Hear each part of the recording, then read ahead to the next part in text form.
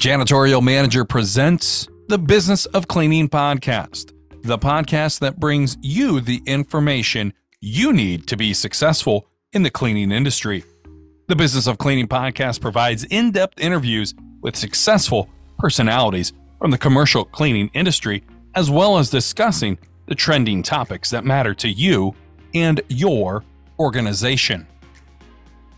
Welcome into the Business of Cleaning podcast, your number one source of information on the commercial cleaning industry. We release new episodes monthly live from the Janitorial Manager Studio located in Toledo, Ohio. I'm Tim Clagg, the Marketing Communication Specialist here at AA Solutions and your host of the Business of Cleaning podcast. This month, we're talking with MJ Mrga, the Manager of Business Development for GDI Services. MJ has worked with GDI for the last eight years. We're glad to have you on this month's episode. Thanks for the invite. Absolutely. So let's start at the beginning. So, what kind of started and piqued your interest in business, in sales? When did that start for you? Wow, I think always growing up, I've, you know, being in high school and picking up that part time job, it's always been at, at the mall and doing sales there as an associate. And you know things flourished, I ended up moving over to um, Caesars Windsor, dealt with um, kind of the big fish there and marketing and sales and bringing in new people. So I had the opportunity with GDI. It opened up, and um, I've been there ever since. Can you describe to the audience your role, uh, manager of business development, the responsibilities that you have that comes along with your uh, job? I think our main role in sales um, is growth for the company and establishing the relationships with clients and ensuring that it's long term and we meet all this all the needs and services that we sell to the client. You mentioned the word long term. Well, long term, GDI has a long term, 97 years in the commercial cleaning industry. And I'm just fascinated from the beginning. Back in 1926, originally established for janitorial services in Quebec. And today, now, you guys are the premier company with over 30,000 employees, 48 acquisitions since 2008. What has led to kind of that that hotbed, that growth uh, from the company from 2008 and all the way up until 2023? I think it's we we are a 2.5 billion dollar company, and in order to be structured in a way, you'd have to acquire new companies so you can almost be on a national point and uh, be at a local touch as well. Um, we cover pretty much all of Canada, and we also are in the U.S. So by acquiring other companies, it just gives us um, more opportunities for different states and cities, and we can cater to a lot more clients that way. With competition and competitors right now at an all time high, especially in this industry that has kind of boomed the last really three to five years, um, what does GDI do to continue to adapt, grow, and meet the needs of your customers? I, you're right on that. There's a lot more competition than when I first started off, and it's amazing to see, and it's great um, for the industry. I think it's important to develop the relationships, which GDI does, and the long expertise and the many years that we've we've been in the industry and understanding what growth needed to be made, and now offering um, various types of services in the industry, such as the chemical solution side, the mechanical and technical portion. Um, it's really helped us grow and understanding what the client does need in the end, really listening to what the client needs and being flexible and bringing the innovation that may help the industry over 18 different services that you guys provide. I mean, it is a healthy list. What do you think Very. That, what do you think that you would attribute uh, the competition, the growth overall in the industry? Obviously, huge demand during you know 2020 when the world was kind of flipped upside down. But where do you think that you hear from your customers that has been responsible besides you know obviously high demand? You know, GDI is a national company, but we we operate as a local company, which really does help um, us in the industry and being, you know, very close to our clients. I'd say, you know, w- when it comes to distance wise and time wise, it's an hour. We're pretty much an hour away from majority of our customers, so we can provide that that service that's up close and kind of personal and really listening and understanding what the client's needs are. Um, I think it's quite important. It's not just here's here's the services and you know here's our mop and bucket our frontline staff and we're good to go. It's really understanding the needs and the pain points of the client you know and ensuring that they're focused in their business whether it's you know producing manufacturing customer satisfaction with their tenants occupants whatever the case may be and and doing what we do best and it's the janitorial services on on our end or mechanical technical you know the the chemical solutions and yeah. And the phrase that kept appearing kept popping up when gathering information doing research on gdi was the phrase that kept coming up. They pride themselves on customer centric approach. So having that reputation obviously key when you've been around for for 97 years to uphold those standards and be able to deliver uh, time and time again to your customers? I think it's you know building that long-term relationship with these clients really is beneficial. You know, these some of our clients are based in Canada and the US and being able to provide the same service in Canada and into the US is helpful, but um, once again, I'll go back to that local touch and really knowing the client because I always find in sales if if the client doesn't like you, they're not going to they're not to buy anything from yep. you. You know, so it's important to really listen and building a customized solution for the client in order for it to be successful. And you know what? You, we deal with a lot of frontline staff and we're all people at the end of the day and you know learning from any mistakes that we do make and improving on that is you know beneficial on its own and i always talk to people i personally believe that it is a true art of sales in business. And really, things have changed uh, for you and the approach and everybody in the landscape for the last three and a half years.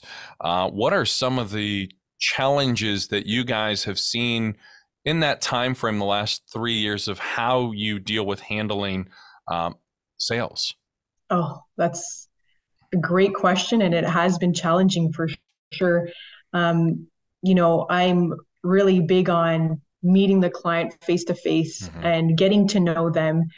But, you know, as we all know, it's been difficult. And a lot of people work from home and, you know, coinciding your schedules with their schedules. You know, Zoom, great example. Like, you know, getting on into a Zoom meeting or a Teams meeting, whatever the case may be. So at least you can you can have that face to name recognition. So I think that's that's helpful in its own. Um, you know, uh, phone calls and emails. I think everybody's so busy in their schedules.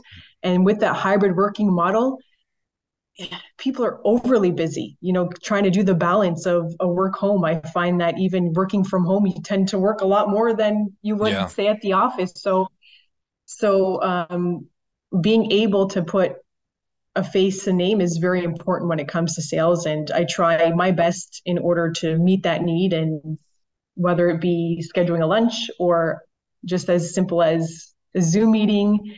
Um, yeah, it, that's that's all you can really do. I find that being having that phone call kind of sales thing doesn't work anymore. It does not. People are too busy for it. So also too, does that change your approach because uh, you schedule? You know, there's a typical time frame. Let's say you know if you were in person, maybe you'd have an hour to uh, talk with somebody face to face where a lot of teams meetings sometimes you may only have 30 minutes does that change or has that changed kind of your approach your team's approach when trying to establish that connection uh, point get the pain points from your customer and hear their needs I, I, I guess it would help with kind of understanding what doing social media looking up who the client is understanding what they like whether there's interest or hobbies whether they're a, a part of a chamber of commerce or you know they play a golfing league that's something that you have to kind of look at so then you can arrange your schedule be a part of that com- commerce right. or chamber of commerce do the golf and meeting them that way. I think um, that's helped me quite a bit. And just being a part of that, any networking type of conference or um, events that other companies may have, conventions, you just have to be a part of. You have to be out there in order to to meet that one client that you know you're looking to get a hold of. And taking the time. I think that would do- be the change. Here. Right. And taking the time to do that research to find what somebody is interested in, that goes a long way because it shows that you you care about what they're interested in and uh, who doesn't like to talk about themselves a little bit, right? Absolutely. Absolutely. And um, that's that's why I always say like make sure we're we're we're part of a generation now that is based on social media so you can find a lot about a person just by looking up social media or LinkedIn, mm-hmm. you know, reposting stories of of what they found interesting and and having um, a conversation just based on that. And that's one thing I'm finding out. I'm still fairly new to the community in the industry, and I'll tell you, I've been so impressed with just honestly how a tight niche group. They truly are and, and supporting one another in the cause to uh, support and, and share each other's growth and accomplishments which that's kind of astounding me because sometimes in other industries that's not always the case. Yeah and you know what uh, knowing as many people as you can just to get out there and hoping that there's going to be referral in that type of industry or in the same industry or outside of the industry knowing someone will probably get you in the right path of getting to know that one person that you want to get um, to know. So I think I think for myself, it hasn't really been an issue, but um, I am kind of social and it, it does help in sales. So, so absolutely, yeah, it's. You mentioned something that I kind of want to talk about here a little bit more. Sales and marketing, they work closely together. What advice can you give listeners to leverage on digital marketing, their online presence that may help them and their company to lead to more sales, especially if it's somebody trying to, in the commercial clean industry, look to lock down a, a contract? Listening to the client. I think really listening to the client and understanding what the needs are instead of, I find that we're selling in general, selling before we actually know what the client really needs. So listening to what um, some of the pain points are and really customizing a solution fit for them.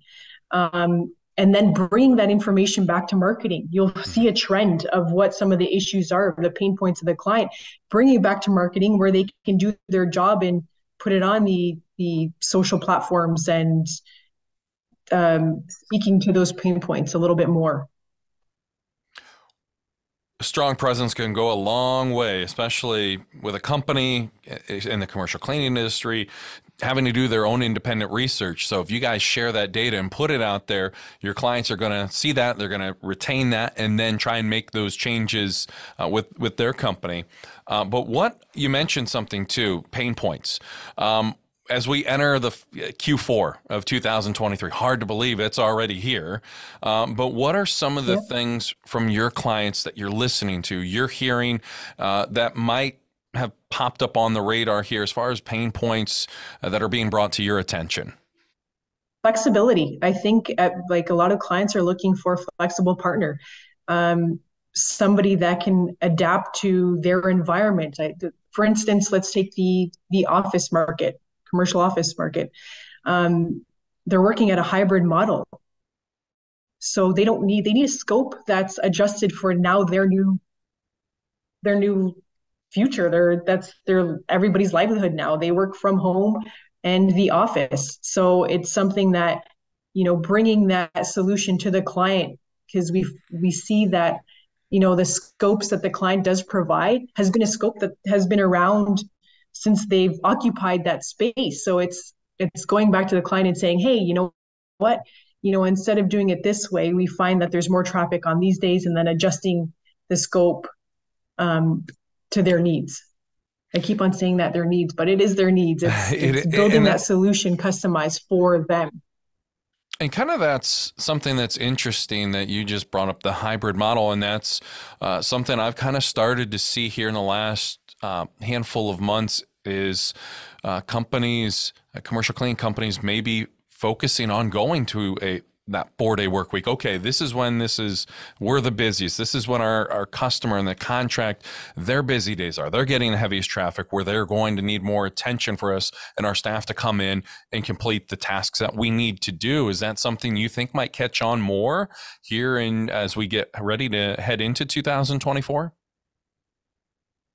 Oh, it's already been here. I, I think that um, a, a lot of companies do work on the hybrid model and we've all i think all the all the competition including um, whether it be you know mechanical technical side um, janitorial we've all had to be flexible and adapt to what the clients work schedules are it's a new norm i'd mm-hmm. say things aren't always going to go according to plan how do you handle customer complaints, feedback, what guidance and points can you give listeners when these situations do pop up because they they certainly will? Listen, don't get defensive. right. I, I feel that we're dealing with people, we're not dealing with robots. So there's always going to be, it's not perfect. Um, this world is not perfect. So listening to what they have to say and coming up with an action plan and being um, proactive, I think, is not reactive. I find that, you know, sometimes we could, if we don't hear anything from the client, things are going well. Well, that's not necessarily true. Yeah. Um, so being being in communications and contact with the client, ensuring that you know you take care of the problem prior to it actually happening. Um, you have to be close with them, close with your staff, um, being that support system for them, ensuring that all the sub, all the service levels are going to be met. So being proactive and listening instead of reactive. And especially too, people hear the problem they start the wheels start spinning right we're a society where some people a lot of people actually are trying to prepare their move, right? Instead of being an active listener, uh, what are some strategies you know that you work with with your team to try and improve that that listening skill overall? Because I know as a married man of five years plus, I'm still always trying to improve my listening skills.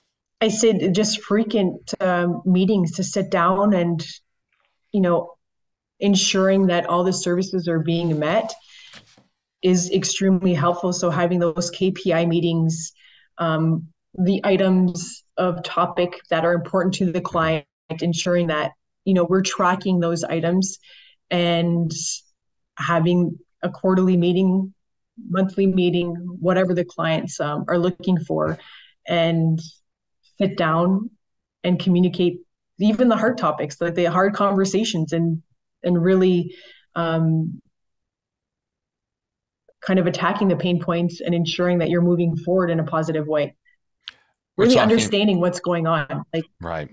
whether it's even software like the software of holding yourself accountable with with the assistance of software ensuring that tasks are being complete. We're talking with mj Mrga.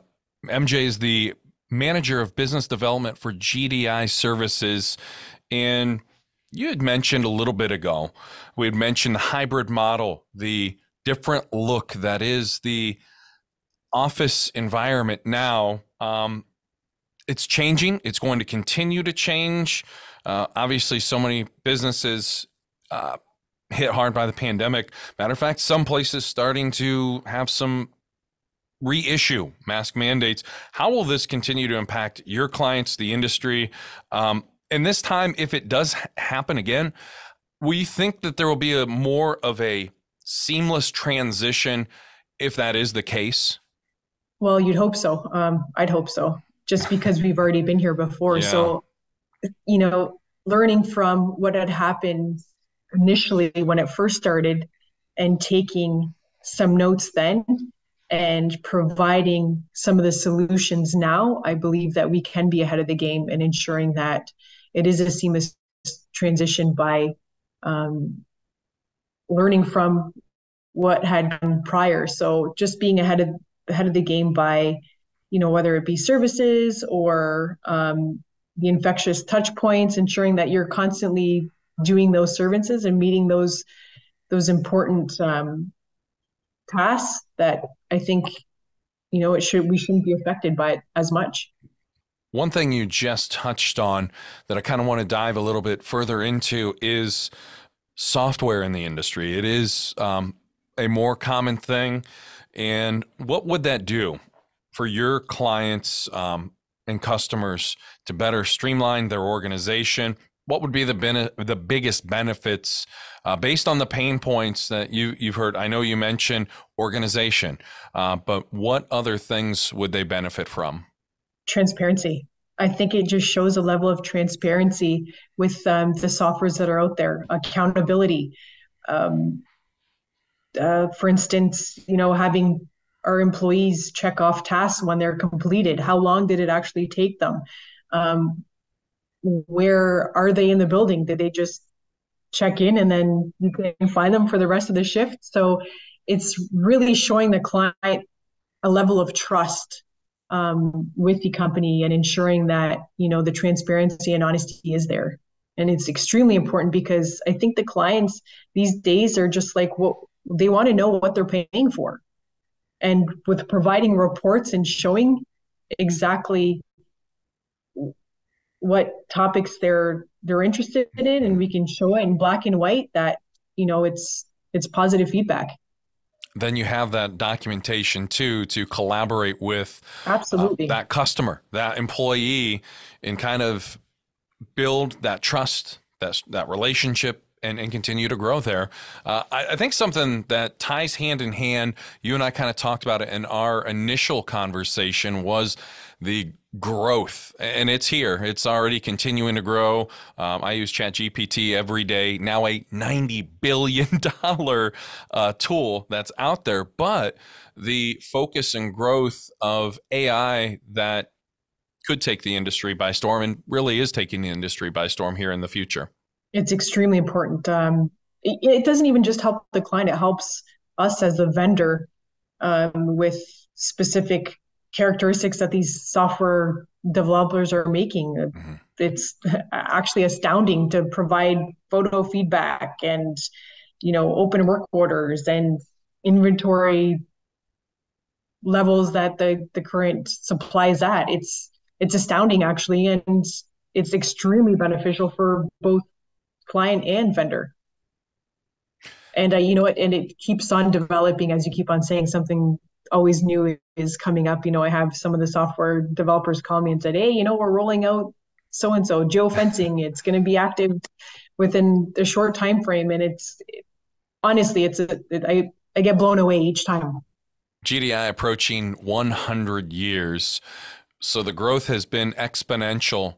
Um, where do you guys see, where are you focusing here in the future for your company uh, as you continue to expand and seek new opportunities for the future?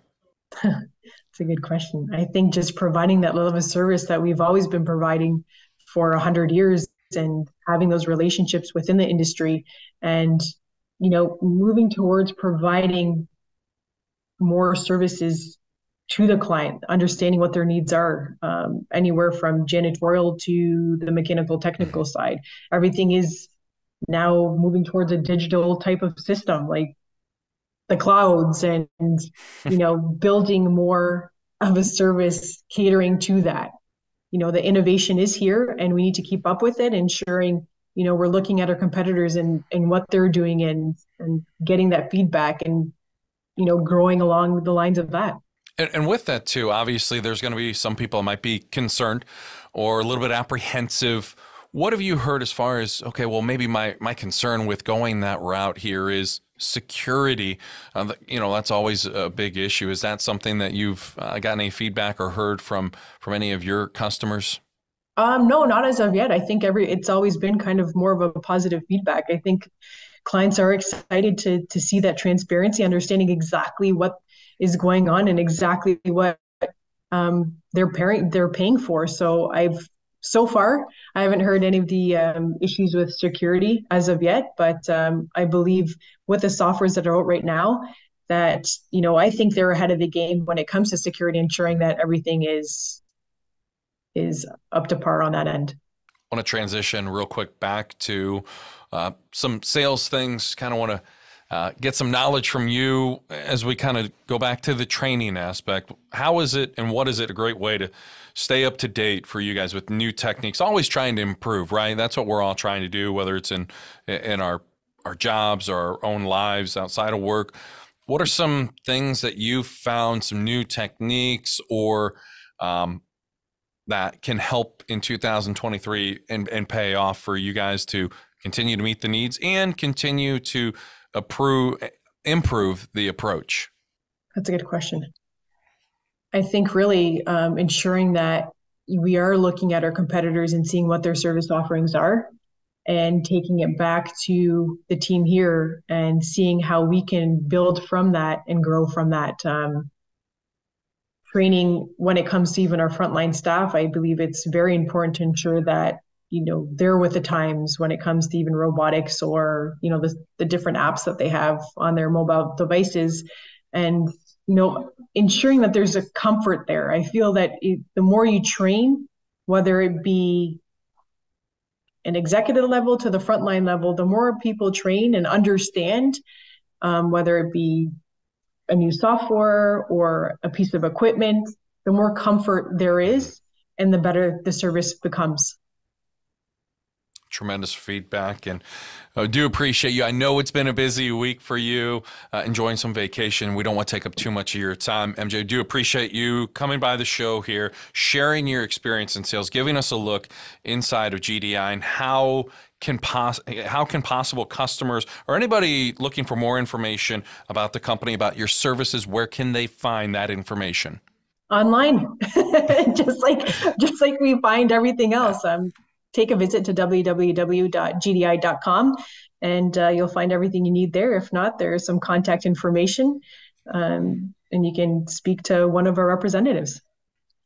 That will complete this month's edition of the Business of Cleaning podcast. Be sure to subscribe to us on Spotify, Apple Podcasts, Google Podcasts, and now on iHeartMedia and wherever you get your podcasts from. Also, be sure to leave us a five star review and leave your comments. From everyone at Janitorial Manager, my guest this month, MJ Mrga, I'm Tim Clagg saying so long until next time.